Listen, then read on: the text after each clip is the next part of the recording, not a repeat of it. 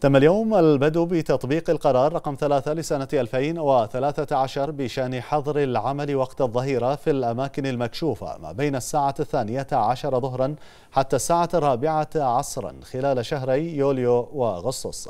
وبهذه المناسبة دعا سعادة السيد جميل بن محمد علي حميدان وزير العمل والتنمية الاجتماعية أصحاب العمل للالتزام بتطبيق القرار حفاظا على سلامة وصحة العمال. منوها. في هذا الشأن بأهمية مراعاة الجميع تطبيق مبادئ واشتراطات السلامة المهنية تعزيزا لبيئة العمل المنتجة والآمنة والخالية من الحوادث المهنية. إلى جانب القيام بالإجراءات التنظيمية بما في ذلك الاستفادة من إعادة جدولة ساعات العمل بما لا يؤثر على سير الإنجاز لأعمالهم. مؤكدا في الوقت ذاته حرص البحرين على تطبيق معايير العمل الآمنة والصحية في مواقع الإنتاج.